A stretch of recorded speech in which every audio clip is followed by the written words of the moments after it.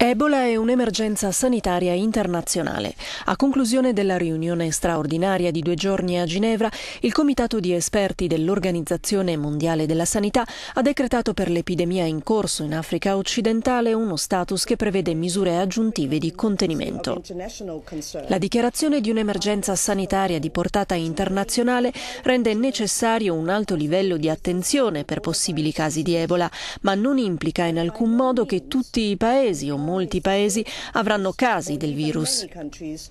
In conferenza stampa il comitato di emergenza dell'OMS ha fatto sapere che per ora non sono necessarie restrizioni internazionali ai viaggi.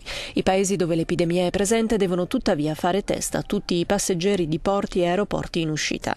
Gli esperti hanno parlato anche di trattamenti sperimentali disponibili solo in quantità estremamente limitata.